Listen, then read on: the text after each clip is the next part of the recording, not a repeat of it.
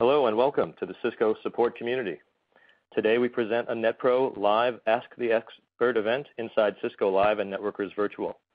Today, uh, today during the event, our expert will be answering questions on embedded management technologies. My name is Daniel Gerson, and I am the content manager for Cisco Live and Networkers Virtual here at Cisco. Our expert joining me today is Joe Clarke, a distinguished engineer for network management at Cisco. Joe will be providing an update on design tips and scripting help for embedded management technologies. These include Embedded Event Manager, Embedded Syslog Manager, and Embedded Menu Manager. Welcome, Joe. Thanks, Dan. Now I'd like to briefly outline the format for today's Ask the Expert event. Joe will start with a short presentation on network management for the first 25 minutes of the program, and then we will dive into the live question submissions for the remainder of the event. During our live presentation, you may submit a question to be answered by Joe and a team of Cisco technical experts using the submit box. Simply type your question and submit it. To see the latest questions and answers during today's presentation, be sure to click the refresh button at the bottom of your screen.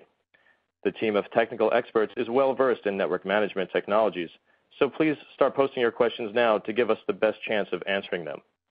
We'll be answering polling, uh, be asking polling questions during this webcast, and we encourage you to participate by answering them. To be sure the polling tool works properly, please disable your pop-up blocker.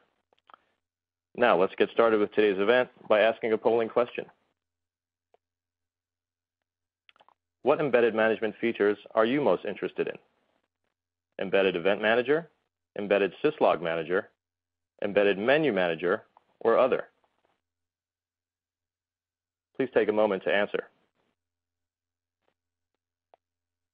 We will review the, results of that poll momentarily, so submit your responses now.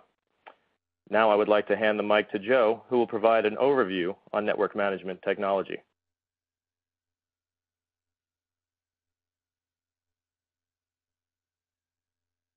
Thanks, Dan. Today our uh, agenda will be the following. We're going to start out with an introduction. What do I mean when I uh, talk about things like instrumentation or embedded management? And then we'll look at some of these embedded management features. We'll look at the embedded event manager, syslog manager, and menu manager. And then we'll get to the all-important and very fun question section. First, what do I mean by instrumentation? Well, instrumentation is what gives us the ability as operators or as administrators to see what's happening in our various devices. Instrumentation allows us to build that dashboard or those gauges or those knobs to see what's going on on our devices, to give us that information about our network, to help us build baselines, and to help us understand. It gives us that ability to touch, to change, to make, uh, to build knowledge about our network. Instrumentation is the intelligence, and the levels of instrumentation the device provides us gives us different levels of being able to understand, being able to manipulate, and being able to control our devices and our network. Embedded management or embedded instrumentation is taking this intelligence and pushing it further down into the device. So instead of having your, uh, solely external network management applications or network management servers that can only look from without, we're giving the ability to look from within for the device to manage itself. So with embedded management, the device is able to more quickly uh, determine what's going on and react to those events. So you may imagine uh, one event may be that a, a critical link on our device goes down. And maybe that link is the primary uplink, the one that connects this device to the rest of our network. Well, if that were to go down, your external management system would probably only be able to tell you, hey, I'm not able to reach this device. But with the, the power of embedded management, the device now has some more options. It can certainly see that the link's gone down, and maybe there's some high availability path that the device could take. That is, maybe there's a redundant link that the device could bring up. And embedded management allows us to do that. We tell the device beforehand, if you ever see this particular event occur, I would like you to react to it, and part of that reaction is to fail over to a redundant path. The other advantage of embedded management is it reduces some of the overhead associated with uh, polling. So normally your external network management systems would be periodically polling or waiting for events to come out over the network related to what's going on on the device. With embedded management, the device is watching itself. So we don't have that additional network traffic, and we don't have that additional overhead associated with the external polling. Embedded management, though, is not going to replace or fully replace your external network management. So what we're going to do is see that embedded management becomes complementary. And by using embedded management with external management, we can help build a more powerful and robust, all-encompassing network management solution. We really want to help make Cisco IOS and your devices the most powerful tools in your network management tool chain. The first technology we're going to look at today is the Embedded Event Manager. And the Embedded Event Manager is one of these in-box or internal or embedded network management instrumentations that allows us to react to events that occur on devices. And events are nothing more than things like syslog messages being generated, CLI commands being run, modules being inserted or removed, or SNMP objects changing their value. The way these events are found, uh, the way the Embedded Event Manager learns about these particular conditions are by things known as event detectors. There's one event detector for each type of an event, and these event detectors are nothing more than an IOS processes. And they wait for these events to occur, and when they do, they float the information about the event up to this Embedded Event Manager uh, bus or server, and it's that server's responsibility to take some further action on that.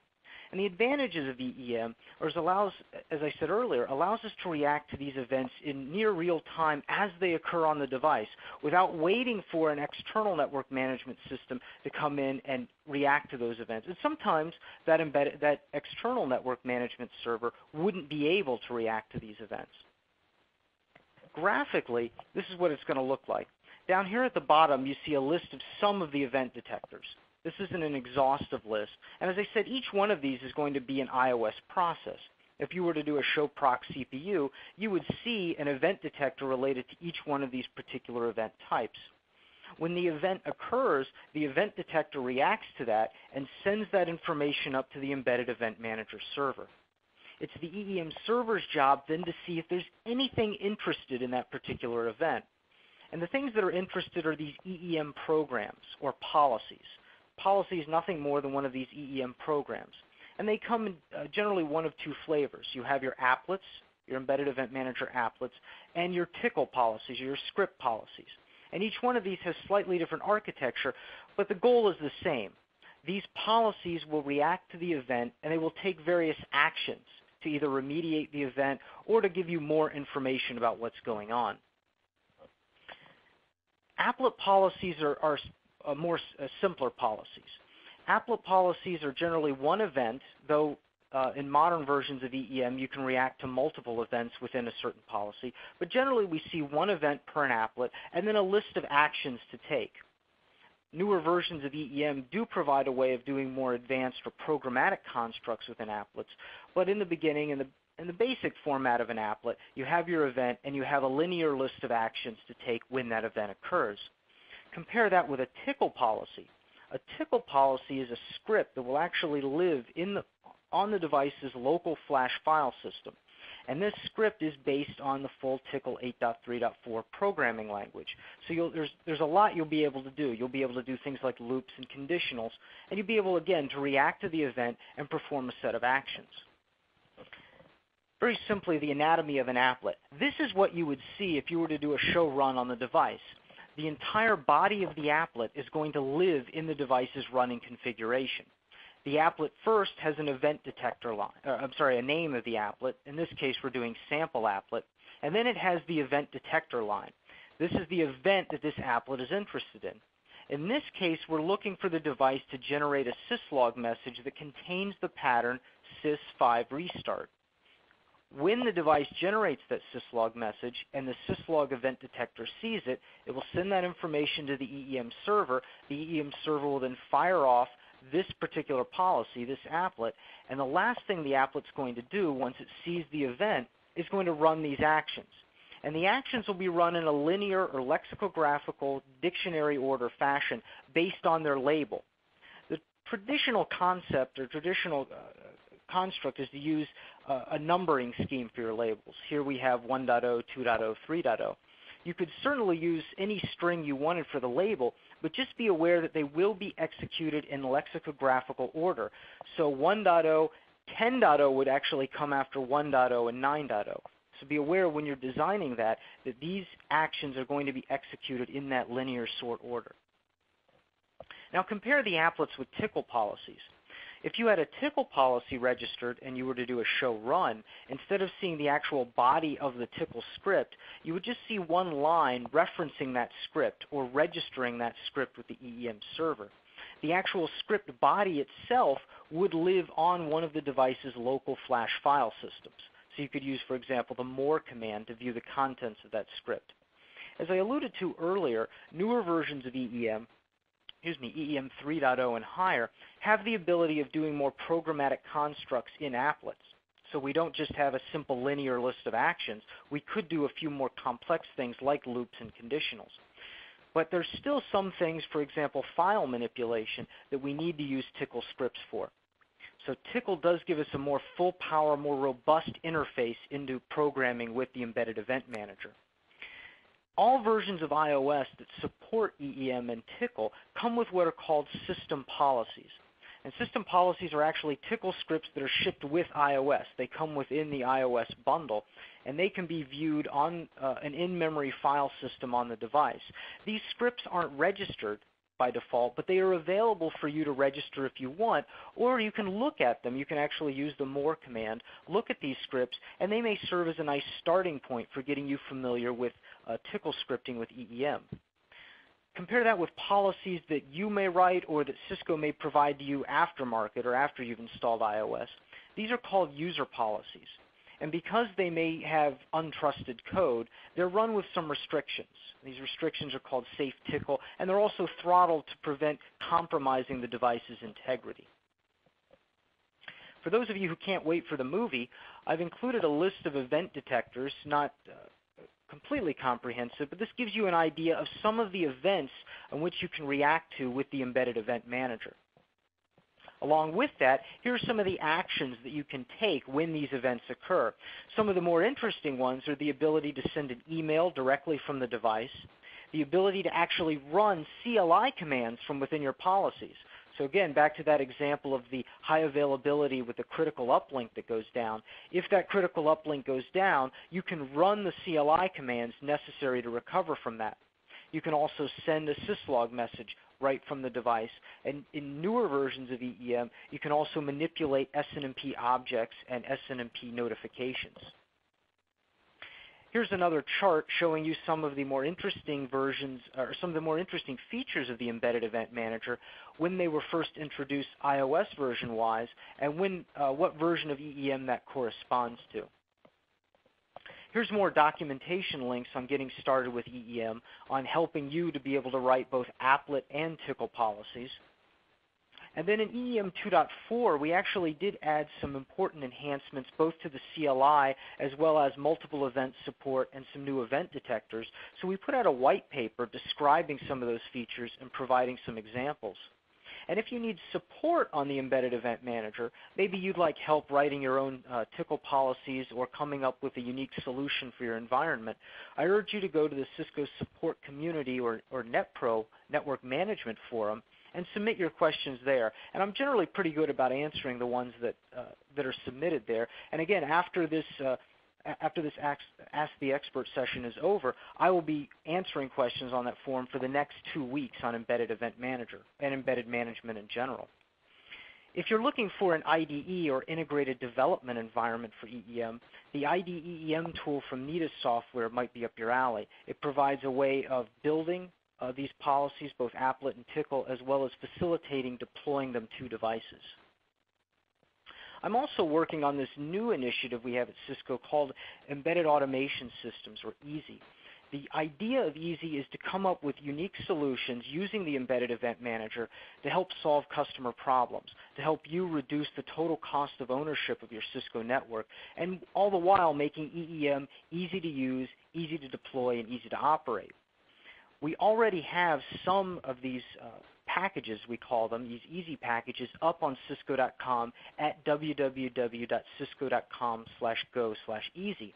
But if you have your own idea, if you'd like, if, if you have a, a nice general thing you'd like to see done, and you think it would make a good, uh, easy use case or easy package, I urge you to send email to ask-easy at cisco.com, and we can work with you to build this solution out. Thanks, Joe. Very informative presentation so far. I want to take a short break to review the results of our first polling question. Let's take a look. Okay, it looks like Embedded Event Manager, the clear winner here. So moving on, let's uh, let's go to another poll.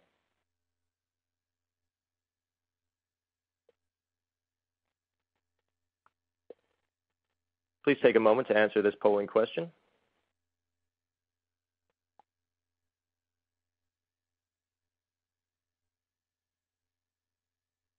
Okay, we'll continue on with the presentation. All right. Now we're going to look at the Embedded Syslog Manager. The Embedded Syslog Manager is another,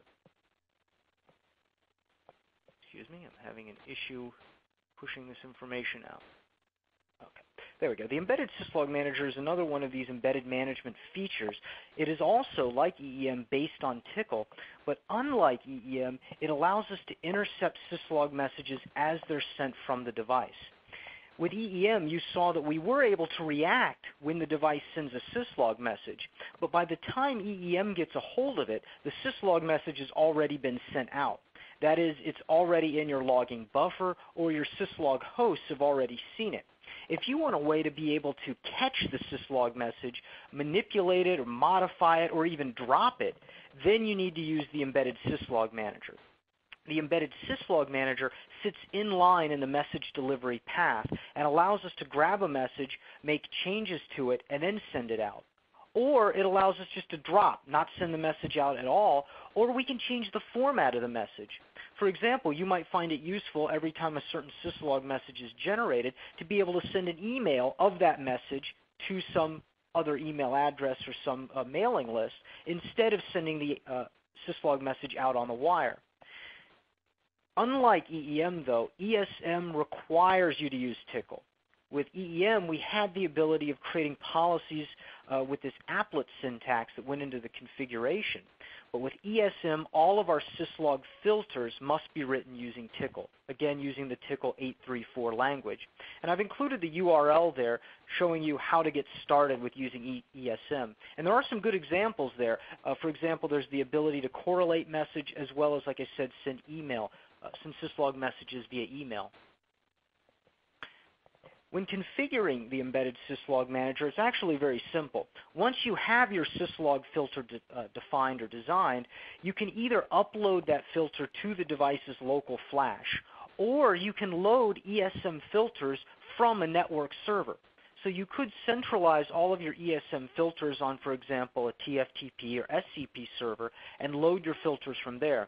But be aware that when the device boots up, the network may not be converged yet, and you may find it better to actually put your ESM filters locally on each of the devices. And then you'll just say logging filter, the URL or the, the uh, location of your filter, then what optionally what position you may want if you have multiple filters in the list. And then if your filter requires any arguments, like command line arguments, you can specify the args keyword and list your arguments there. In this example, I have a filter uh, called drop.tcl. Drop.tcl, you may imagine, could drop a certain syslog message, and it requires two arguments. It requires the uh, uh, mnemonic of the message, and it requires the severity of the message. Then, once you have your uh, syslog filter defined, you have to say what destinations do I actually want to be filtered. And you can filter any of the available destinations. You can filter your console, your logging buffer, you can, figure, uh, can filter your syslog host, or you can uh, filter your VTY monitor, your terminal monitor. So you would just say logging, destination, and then the keyword filtered and then that destination becomes filtered. If you do have multiple filters and multiple destinations, and you want some destinations to receive some syslog message and some destinations to receive other syslog messages, you can assign a destination a unique stream ID, and then you or you can share stream IDs, and then you can write messages to particular streams.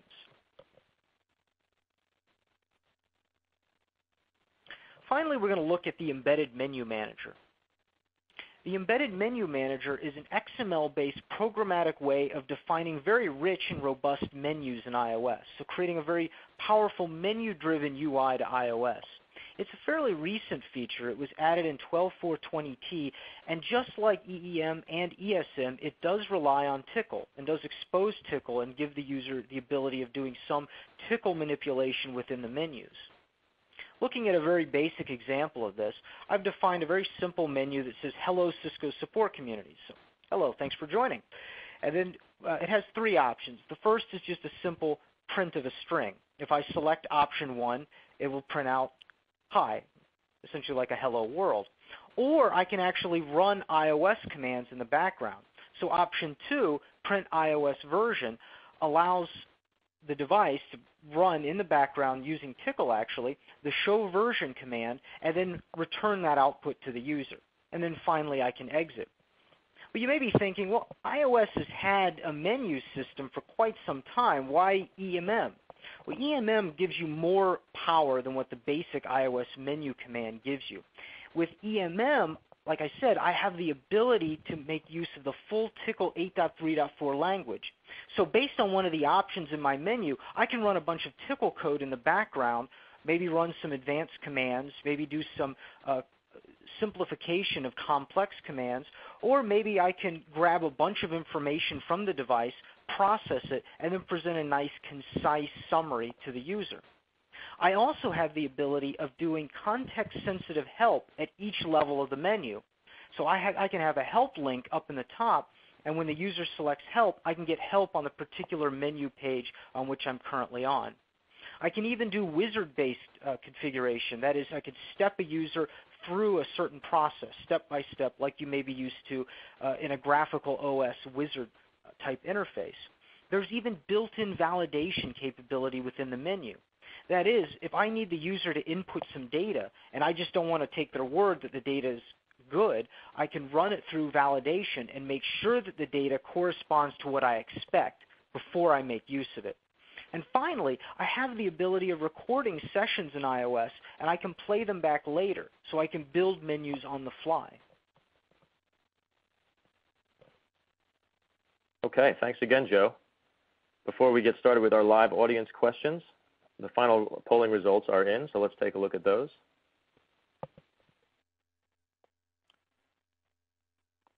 And it looks like a fairly good percentage of you are not very familiar with the embedded management technologies, so it looks like today's presentation will prove very helpful. Thank you to everyone who participated in the event polling. Now it's time to answer some of the questions our viewers have submitted today. By the way, if you can't stay with us for the discussion, please be sure to click on the evaluation buttons to let us know how the session met your business needs and ex expectations. The first 25 listeners to complete the evaluation will receive a $20 Amazon gift card. So please make sure to fill out those evaluations. Now we move on to the QA portion. Here's the first question for Joe. What effect does EEM have on routers or switch performance? Good question. Um, it really depends, actually. As we saw in the in the slides in the brief examples, we have those two different types of policies. We have the applets, and we have the Tcl scripts. And in general, and by default, EEM policies, both applet and Tcl require they uh, run within 20 seconds because after 20 seconds, they're going to be terminated. If they're still running, uh, they're going to be terminated by the scheduler. So really, you don't have a huge uh, potential for impact by default. We're looking at very simple, very straightforward uh, reactions to certain events. And these events are probably not occurring constantly. The EMM processes do run at a medium priority, though, so there is some potential for uh, uh, perhaps conflict with lower priority processes like SNMP. So really what you have to be careful of when you're defining your events and you're defining your policies sorry, when you're defining your policies, is that you want to make sure they're not going to be doing anything excessive. You want these policies to help you more than you want them to hinder the performance of the device. So keep that in mind. Yes, you can increase the max runtime beyond 20 seconds, but you don't want to run any tight loops. You want to make sure that everything uh, flows in more or less a linear fashion. You don't want to run into any potential uh, hangups, and you certainly don't want to run uh, certain polling uh, frequencies Uh, too frequently. For example, with SNMP, with the SNMP event detector, which is a poll-based event detector, you can actually run that down into the seconds. I would strongly recommend that you not go below five second polling. You don't want to continue to aggressively poll the device because A, the counters or whatever the objects you're looking at may not be updated that frequently. And B, again, you don't want to overwhelm the device. You don't want to put more load on it when you're actually trying to solve a problem that you may be having elsewhere. Excellent. Thanks, Joe. Let's move on to another question. How do I know what version of EEM my device supports? That's actually uh, can be a bit tricky. In EEM 2.4 and higher, there is a, a, nice new command called show event manager version, which can tell you exactly uh, what version of the embedded event manager you have. However, before that, it's, it's a little, little bit of a heuristic. If you want to know if your device supports EEM version 2.1 or higher, you can do the uh, command show event manager environment. And if that command works, then you know your device supports at least EEM 2.1. With EEM 2.2, one of the big advantages or big additions with 2.2 was the uh, addition of enhanced object tracking support, and that is the ability to react when a tracked object goes up, uh, goes down, or comes back up. And with that, you just want to see, you can go into the Event Manager applet configuration. So you can do uh, Event Manager applet and then come up with some name. It can be like test, for example. And then you could do event track question mark. And if that command works, then you know that the device has 2.2, at least 2.2 support. There are some devices out there that, that do otherwise support EEM 2.2 or, or higher versions, but don't have tracking support. Uh, 6500s uh, before uh, 12233 SXI and the uh, desktop switches, the 2Ks, the 3Ks, they may support uh, later versions, specifically the 3K, they may support later versions of EEM, but they don't have the track command. With 2.3, the big user-facing change was the ability to run interactive CLI commands from applet mode. So if you, again, you go into applet mode, Event Manager applet, and then test, for example, and you were to do action 1.0 space CLI space question mark, and you see one of the uh, available keywords there as pattern, then you know your device supports at least EEM 2.3. And again, now that we have 2.4, 3.0, 3.1, and 3.2, they all support the show event manager version command to very easily see what version of EEM you have. Thanks, Joe. Let's move on to another question. Which version of EEM added conditional logic support to EEM applets? The programmatic support and the additional logic was added in EEM 3.0 and higher. So with uh, 3.0, and the, the, logic is actually very straightforward. So we saw that we had the ability to run actions like CLI, actions like syslog. Well, the, these new programmatic constructs were added just like the regular actions. So if you were to go into a device which supports EEM 3.0 and higher, and you were to go into applet submode, event manager applet, and some name, and you were to say action, give the action a label, you would see then, if you hit question mark, you would see all of the previous actions, things like syslog, things like CLI, but you would also see new actions like if, like wait, like while, and these are the uh, the new programmatic constructs that allow us to do conditionals, that allow us to do loops, that allow us to pause execution for some time using wait, allow us to do things like for each. We can even do string manipulation. For example, we can do string matches or trim trailing or leading white space. And we can do regular expression searches. There's even an action regex now, a regular expression search, where we could search through a string or, for example, the output of a show command for a certain regular expression pattern. Thank you, Joe. Here's another question. Can I send an email message using an applet policy? Absolutely.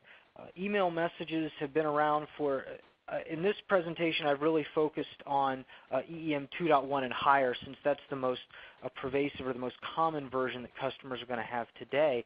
And yes, in that version you can certainly send email from an applet using the uh, action mail command. So that again, in applet submode, if you do action, give the action a label, hit question mark, you would see one of the actions is mail.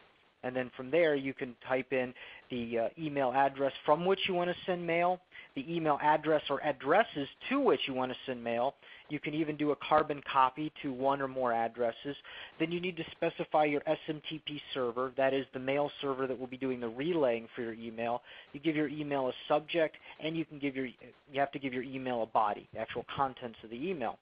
In newer versions of EEM, in 2.4, we added the ability for doing SMTP-based authentication. So some mail servers actually require you to specify a username and a password when you're using them to relay email. So in EEM 2.4, we added that capability. And in EEM 3.0, we added the capability of specifying a source interface from which you will make the TCP connection to the SMTP server. And that's important because especially in, in MPLS or VRF networks where you uh, may need to specify an exact management interface in order to make that successful TCP connection to your SMTP server, you'll need to be able to either specify a source IP or a source interface. So that capability, uh, that capability again was added in EEM 3.0. Excellent. Thanks, Joe. Here's another question. Besides Tcl, are there any other programming languages that I can use with EEM? Actually, yes, there are. Um, it's very new, and, and, and it's uh, really geared towards one type of device, the switches. There's this new language, IOS SH, or the IOS shell. And this is a bash-like syntax or, uh, syntax or born-again shell, if you're familiar with that from Linux or Unix uh, bash-like syntax that allows you, just like Tcl, to uh, install these uh, .sh scripts on the device, register with the event you're interested in, and then be able to uh, run some CLI commands. It's really right now geared towards just running config-based commands. And the IOS SH forms the foundation for the SmartPort macros that you may be familiar with on, on like the uh, 3K series switches. So there, the ability to actually redirect or, or take output of show commands and, and analyze that is not there yet, uh, but it's planned. So right now, if you need to simplify executing uh, CLI commands, maybe making some small config changes, and you're on one of these uh, 3K switches, then IOS SH might be a good solution for you rather than going with Tcl. Okay, next question. How does the call home feature relate to EEM? How does call home relate to EEM? Well, right now there's not much integration between call home and EEM uh, from a user-facing standpoint. Internally, the Smart Call Home subsystem is using EEM somewhat to get access to the events being generated.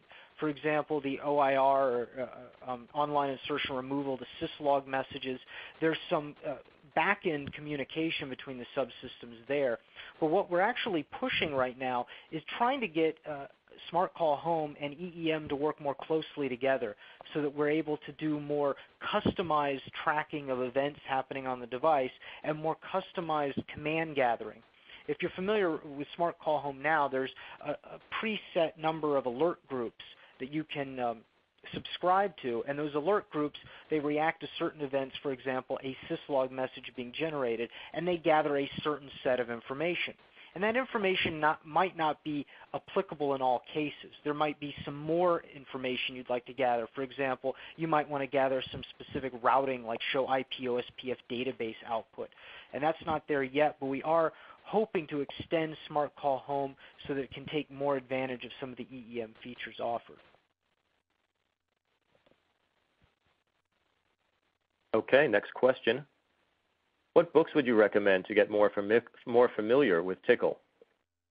Well, actually, we have a book uh, going through Cisco Press now, should be released before the end of the year on doing Tcl programming in IOS, and it will cover uh, the, all of the features I've talked about today. But a book that right now that's out, not really Cisco specific, but that I enjoy and I use uh, just to get me more familiar with Tcl and, and, and the constructs of the Tcl language, is the Programming Tickle TK. It's in its fourth edition um, available at, at stores like Amazon right now. And it's a great reference guide for learning the Tcl programming language. And if you also go to www.tcl.tk, you can look up the documentation even for the older releases. So you can go and you can find the 8.3 documentation and use that. And the URLs that I put into the uh, into the slides, those are also good starting points. The uh, uh, cisco.com slash go slash easy is a great site because we have some well-tested and some documented packages there. And there's even www.cisco.com slash go slash Cisco Beyond, one word, Cisco Beyond. And that's our public-facing repository where both Cisco employees and customers can upload their EEM or Tcl solutions and share them uh, globally with people who might be interested. So there are some good resources out there for getting started, and we are actually going to put out a book uh, quite soon dedicated to Tcl scripting on IOS. Okay, moving on. Next question. How does EMM differ from the standard IOS menu features? Well, EMM is all XML driven. So you will build a menu definition file using XML, and you can even embed into that Tcl commands. So you can embed uh, TICL SH commands to do very advanced things or even very simple things right into that. You can also build into your menus uh, help, uh, context-sensitive help. So if you're on a certain page of a menu and the user selects the help option, it can pull up help for that specific section of the menu. There's also command validation. So I can make sure that the input entered by the user meets the requirements that I expect so that I'm not reacting to any bad data. So in short, it's a lot more flexible and it's a lot more powerful because I have that robust Tcl scripting capability behind. Okay, next question. How can EEM applets be used with interactive IOS commands? Well, before EEM 2.3, it can't. Before EEM 2.3, you would have had to use Tcl if you needed to use an interactive command. And what do I mean by interactive commands? Things like um, uh, crypto key zeroize, the zeroize command, because it asks you, instead of giving you the prompt back right away, it asks you an additional question. Are you sure you want to do this? Same thing with something like clear counters, or even the copy command. For example, uh, copy run TFTP, it, it's going to ask you some questions. For the copy command, there's actually something called file prompt quiet. If you go into IOS config T mode and, do, and, and configure the directive file prompt quiet, file or copy commands won't tend to be interactive. However, things like clear counters, crypto key zeroize, and so on, those will still be interactive. So before EEM 2.3, you needed to be using Tcl to react to those prompts. In EEM 2.3 and higher, there was this new keyword added called the pattern keyword. So if you were to go into applet mode, you go into applet and do an action label CLI command and then put in a command such as clear counters. Then instead of just hitting enter there, instead of just going down to the next uh, action, you would have a pattern keyword. So after the command, you would put in the, the keyword pattern, and then after pattern, you would specify a regular expression. And the regular expression is what do you want to match on in the output that comes back after running, for example, the clear counters command. So you just want to match on anything on that line, anything on the question being asked after you type clear counters. So what, what pattern really does is it temporarily overrides what EMM, or, I'm sorry, what EEM is expecting to see from the device prompt. So EEM has a very powerful uh, hard-coded regular expression for matching the device prompt. And the pattern keyword temporarily overrides that so that you say, nope, after you run this command, the device prompt or the prompt that will allow you to continue will be whatever I put in this pat- in the value of my pattern keyword.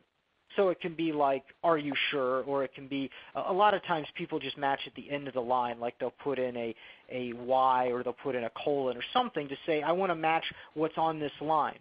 You're not done yet though. So you put in the command, you put in the pattern to match the question that comes back out, out of the command. Now the next thing you need to do is create another action that answers that question. So right below your, your pattern, you would create another action another CLI action, and the command, so it would be CLI space command, and the command that you would execute would simply be the answer to that question.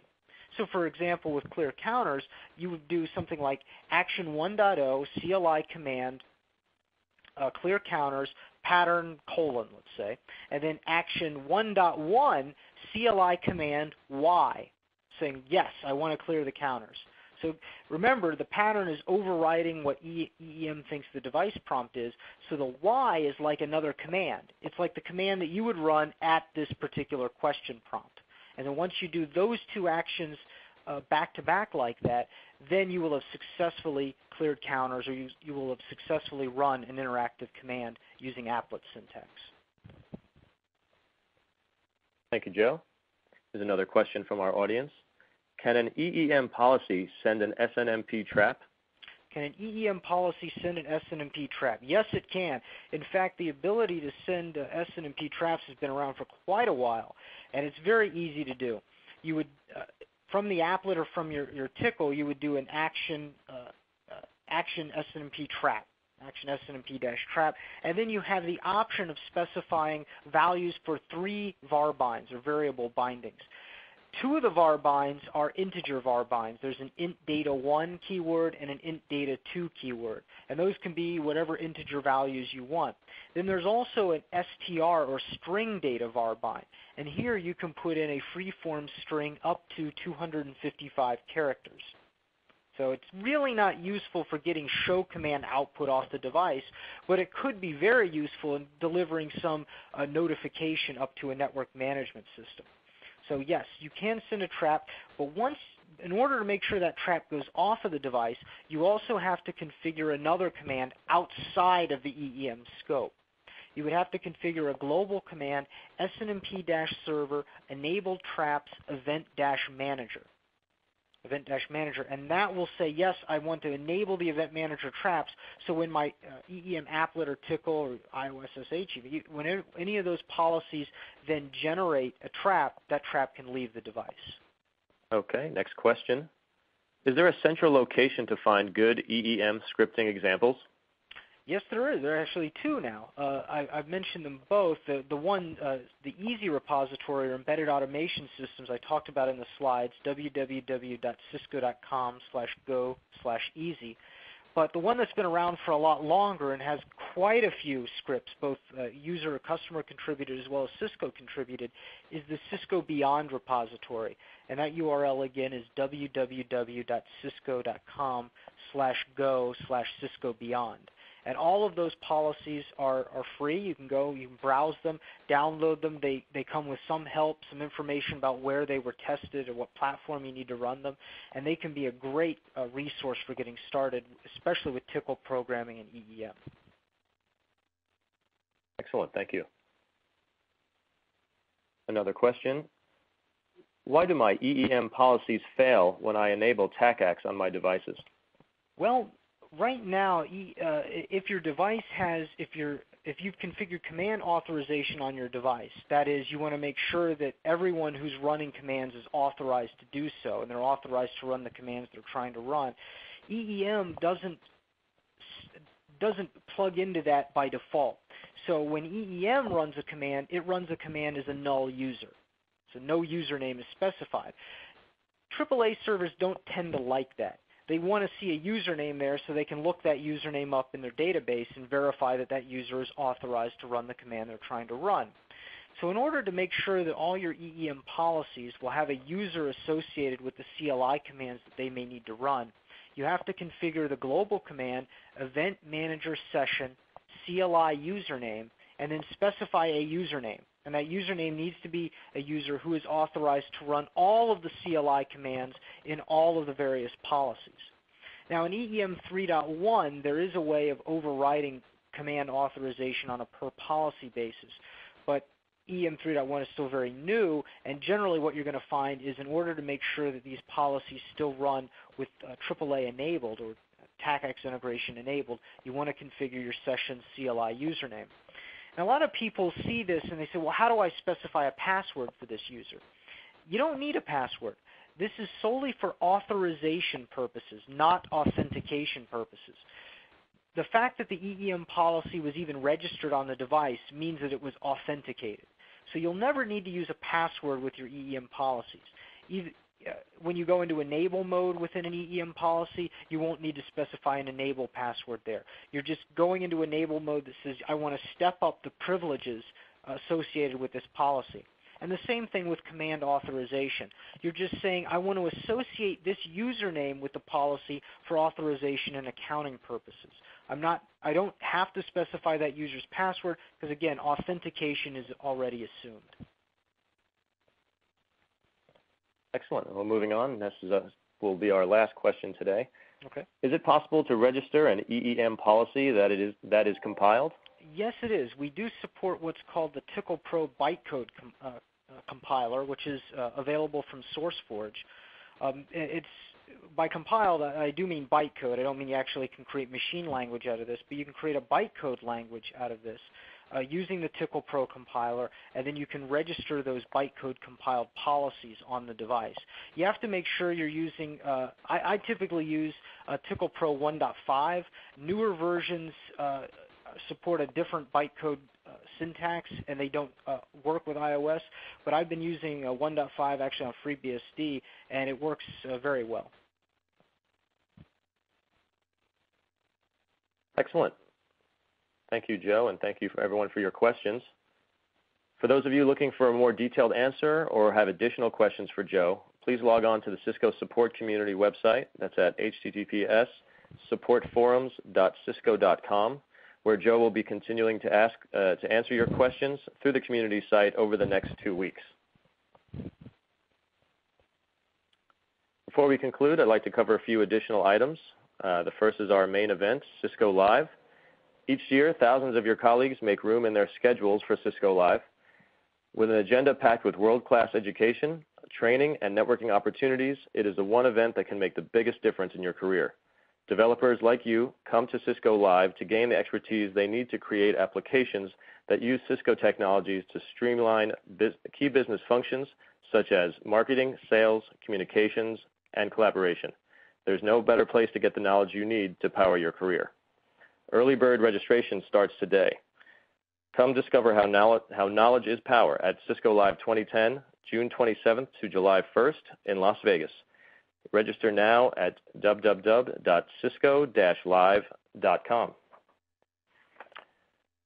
We hope you enjoyed this live Cisco support community Ask the Expert event in Cisco Live and Networkers Virtual. I encourage you to explore the virtual environment, including the Cisco and partner booths in the World of Solutions, the on-demand technical sessions in the session catalog, and the blog center. Also, if you have not explored the Cisco support community, please take a moment to see all the program has to offer. Before signing off, please take a few minutes to complete your evaluation of today's session. This will help us address your business needs and interests in the future. This concludes today's NetPro Ask the Expert event. Thank you, Joe, for joining me today. I'd also like to thank all of the viewers who logged in and for asking questions. Have a great day.